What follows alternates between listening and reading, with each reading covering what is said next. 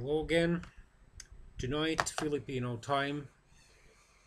Three years have come to pass since I moved to the Philippines.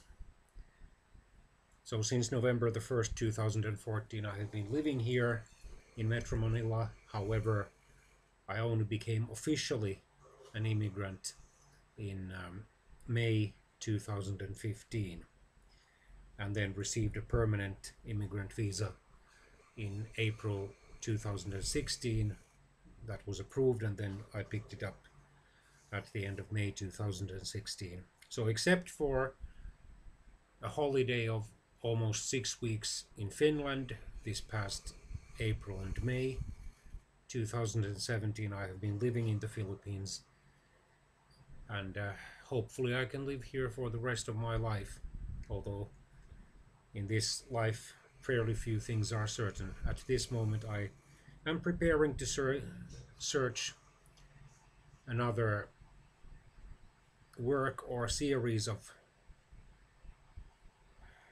fixed term jobs.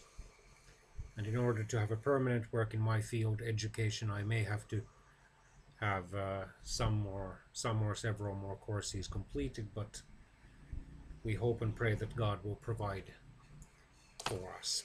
So have a nice November